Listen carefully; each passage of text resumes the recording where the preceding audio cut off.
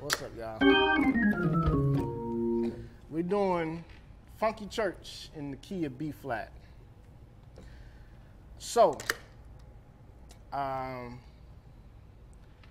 there's not much you can really say about that. You know, playing Funky Church is, is something that you can really um, do anything. And if you if you notice, I'm playing in B flat. Sometimes I was playing in C sharp, going to C sharp. So, which is like a B flat minor. Um, so just to give you some of the things that I was doing.